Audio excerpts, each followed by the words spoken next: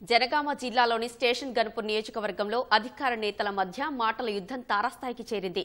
MLA Thatikonda Rajaiah Kadiyam శ్రీహరిపై తీవ్ర ఆరోపణలు చేస్తున్నారు.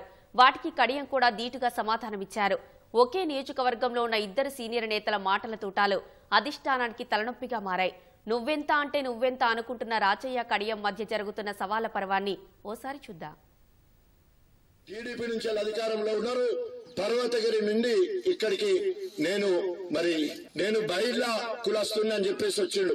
ఈ మధ్య కాలంలో ఆయన కులం మీద చర్చ జరుగుతా ఉన్నది. వాళ్ళమ్మ ఇప్పటి వరకు బతుకున్నది వాళ్ళమ్మ బీసీ. పద్మశాలి మరి పద్మశాలి తల్లి అనేది నిజం ఎక్కడైనా కూడా. తల్లి అనేది నిజం తండ్రి అనేది ఊహ.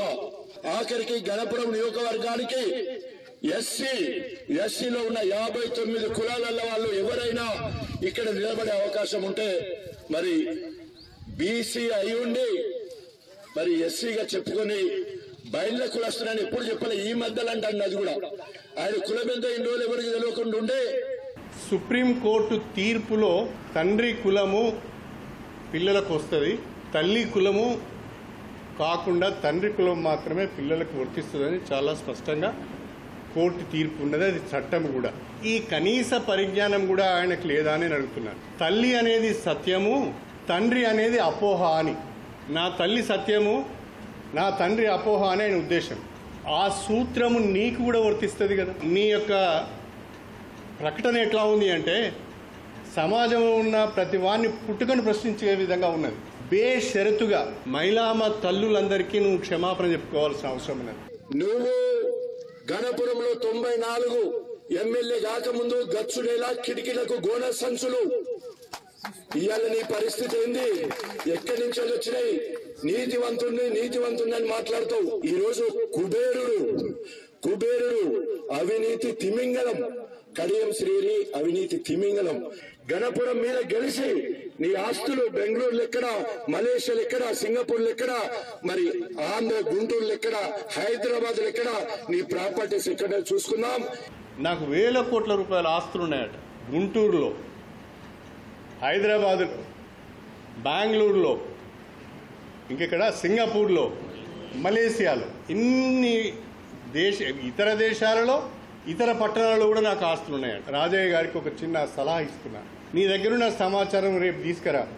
నా ఆస్తుల వివరాలు అవన్నీ కూడా రేపే పత్రికాముఖంగా నువ్వు ఆధారాలు తీసుకొచ్చి డాక్యుమెంట్స్ పట్టుకొస్తే నేను నా గణపూర్ నియోజకవర్గ దళిత బిడ్డలకు రాసి చేస్తాను నువ్వు రేపు తెస్తే రేపే రాసి ఇచ్చేస్తా.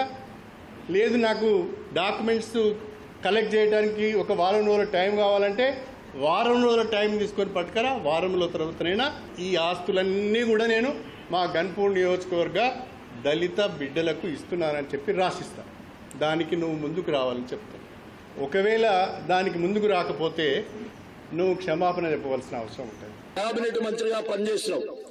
కానీ ఎక్కడ కూడా ఉప ముఖ్యమంత్రిగా బీఆర్ఎస్ ప్రభుత్వంలో ఉండి ఒక్క రోజు గణపురం నియోజకవర్గం అడుగు పెట్టలే ఒక్క పని కూడా చేయలే. ఆనాడు టీడీపీలో ఆయన ఏదంటే అది చేసే క్రమంలో కూడా ఒక్క ఎస్సీని కూడా మండల అధ్యక్షుడిని చేయలే. అది ఆయన చరిత్ర. ఆయనకు ఒక మంచి పేరు. దానికి గర్వపడతాడు. దళిత దొర. దళిత దొర అని ఆయనకి అప్పట్లో పేరు. నీ తలాపు నవ్వబడుతున్నది కదా? స్టేషన్ గన్పూర్లో ఆ రిజర్వాయర్ అవ్వబడుతున్నది కదా? ఆ రిజర్వాయర్ రెండు వేల మూడులో నేను భారీ నీటిపారుదల శాఖ మంత్రిగా ఉన్నప్పుడు ప్రతిపాదించింది కాదా? అటు పక్కన ఒక one thirty two KV substation అవ్వబడుతున్నది కదా అది నా నా- నేను ఎమ్మెల్యేగా ఉన్నప్పుడు కట్టింది కాదా? అటు పక్కన ఒక బ్రహ్మాండమైన గురుకుల పాఠశాల అవ్వబడుతున్నది కదా అది నేను కట్టింది కాదా? శివునిపల్లిలో ఒక జూనియర్ కాలేజ్ ఉంది అది నా పీరియడ్లో కట్టింది కదా? అటు పక్కన పాలిటెక్ ఉన్నది నేను డిప్యూటీ సీఎంగా ఉన్నప్పుడు ఏడు కోట్ల రూపాయలు మంజూరు ఇచ్చి కట్టించింది కాదు ఏ గ్రామంలో ఏ గ్రామంలో కడియం శ్రీయరి చేసిన పనులు లేవో నువ్వు చెప్పు. ఒక గ్రామాన్ని నువ్వు ఎంపిక చేసుకో. ఒక గ్రామాన్ని నువ్వు ఎంపిక చేసుకొని పది సంవత్సరాల కాలంలో కడియం శ్రీయరి ఈ గ్రామంలో ఒక్క పని చేయలేదు అని నువ్వు చెప్పు. ఆ గ్రామానికి నేను వస్తా. దేవాదుల సృష్టికర్త అంటాను దేవాదుల సృష్టికర్త కాదు ఎన్కౌంటర్ల సృష్టికర్త. ఎన్కౌంటర్ల సృష్టికర్త. ఎందుకంటే తెలంగాణ మొత్తంలో కాదు ఆంధ్రప్రదేశ్లో ఏ నియోజకవర్గంలో జరగనని ఎన్కౌంటర్లు ఇక్కడే అయినాయి. అందులో నా దళిత మాదిగ బిడ్డలు ఎక్కువ ఉన్నారు. నేను పంతొమ్మిది వందల తొంభై నాలుగులో ఎమ్మెల్యే. రెండు వేల నాలుగు వరకు ఎమ్మెల్యేగా ఉన్నా ఈ నియోజకవర్గం. పంతొమ్మిది వందల తొంభై నాలుగు ముందు రాష్ట్రంలో ఎన్కౌంటర్లు లేవా? రెండు వేల నాలుగు తర్వాత రాష్ట్రంలో ఎన్కౌంటర్లు లేవా? ఆనాడు నేనేమైనా ముఖ్యమంత్రినా? లేకుంటే నేనేమైనా హోమ్ మినిస్టర్నా? నా చెప్పు చేతులలో పోలీసులు పనిచేశారా? లేకుంటే ప్రభుత్వ విధానాల మేరకు పనిచేశారా? ఈ రాష్ట్రంలో అత్యధిక ఎన్కౌంటర్లు అయింది రెండు వేల నాలుగు నుంచి రెండు వేల పద్నాలుగు మధ్యన. రెండు వేల నాలుగు నుంచి రెండు వేల పద్నాలుగు మధ్యన రాజయ్య గారు ఎక్కడున్నారు? కాంగ్రెస్ పార్టీలో ఉన్నారు. రెండు వేల నాలుగు నుంచి రెండు వేల పన్నెండు వరకు మీరు కాంగ్రెస్ పార్టీలో ఉన్నారు. అంటే దాదాపు ఎనిమిది సంవత్సరాలు కాంగ్రెస్ పార్టీలో ఉన్నారు. మూడు మూడున్నర సంవత్సరాలు అప్పుడు ఎమ్మెల్యేగా కూడా ఉన్నారు మీరు.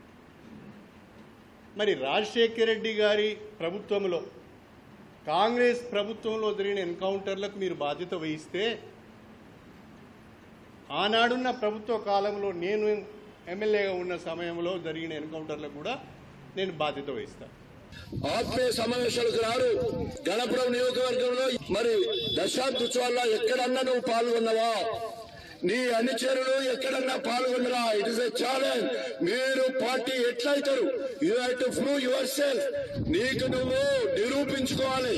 నువ్వు బీఆర్ఎస్ పార్టీ అయితే నువ్వు బీఆర్ఎస్ ప్రభుత్వంలో ప్రజా ప్రతినిధిగా ఉంటే నువ్వు గణపురాన్ని క్లెయిమ్ చేసుకోవాలనుకున్నప్పుడు గణపురం నుంచి వెళ్ళి రావాలనుకున్నప్పుడు గత తొమ్మిది సంవత్సరాల నుండి పార్టీ కార్యక్రమాలలో గాని ప్రభుత్వ కార్యక్రమాలు గాని కడియం శ్రీ అనేటైన ఎక్కడ కూడా పాల్గొనలే. సిఆర్ ఈ తొమ్మిదేళ్ళ నుంచి నియోజకవర్గానికి రావడం లేదు అని. గ్రామాలకు రావడం లేదా? సీఎంఆర్ఎఫ్ చెక్లు ఇవ్వడం లేదా? డెవలప్మెంట్కి సంబంధించిన ప్రొసీడింగ్స్ మీ ముందట ప్రెస్ మీట్ పెట్టి చెప్పడం లేదా? ఏ గ్రామానికి పోలేదు నేను? పైపెచ్చు ఆయనకు ఎందుకో కానీ నన్ను చూస్తే భయం. పార్టీ కార్యక్రమాలకు పిలువరు అధికారిక కార్యక్రమాలకు పిలువరు ఆత్మీయ సమావేశాలకు పిలువరు. నిన్న మాట్లాడతారు రాలేదు అని. పిలిస్తే కదా వచ్చేది? నేను పి- నన్ను పిలిస్తే నీ పరిస్థితి ఎంత దయనీయంగా ఉంటుందో షోడశ పీరియడ్ చూసిండు. ఏదైనా స్థలం ఇవ్వు ఏదైనా సబ్జెక్ట్ ఇవ్వు ఏదైనా సమయం ఇది నీ మీద అప్పరాయం లేకపోతే సేవా విషయంలో కానీ మాట్లాడే విషయంలో కానీ కేసీఆర్ గారికి దగ్గరుండే విషయంలో కానీ దేనికైనా సై చూసుకుందాం రా దర్జాగా ప్రజల మధ్యలో నడి రోడ్డున మరి ఇంతమంది చెప్పారు రచ్చబండ దగ్గర వచ్చి చర్చ పెట్టు చూద్దాం. నువ్వు నేను చూసుకుందాం. ఆ రకంగా ముందుకు రావాలని చెప్పేసి హెచ్చరిస్తూ గణపురము గడ్డనాదే అడ్డనాదే. దళితుల గురించి అంత ప్రేమగా మాట్లాడే నీవు నేను అడుగుతున్నా దళితులకు నువ్వు బీఫామ్లు అమ్ముకోలేదా? దళితులకు నువ్వు పదవులు అమ్ముకోలేదా? దళిత బంధు పేరు మీద వందల మంది దగ్గర డబ్బులు వసూలు చేయలేదా?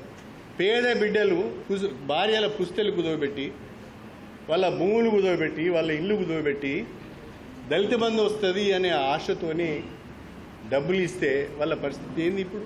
నేను సమయం వస్తే పనులు ఇచ్చి కమిషన్లు తీసుకున్న వాళ్ళ బాధితులను. నువ్వు పదవులకు పైసలు తీసుకున్న వాళ్ళని. నువ్వు బీఫామ్ అమ్ముకున్న వాళ్ళని. అందరినీ కూడా ఒకరోజు తీసుకొస్తా. తీసుకొచ్చి ప్రెస్ ముందటనే వాళ్ళందరితోని విషయాలు చెప్పిస్తా.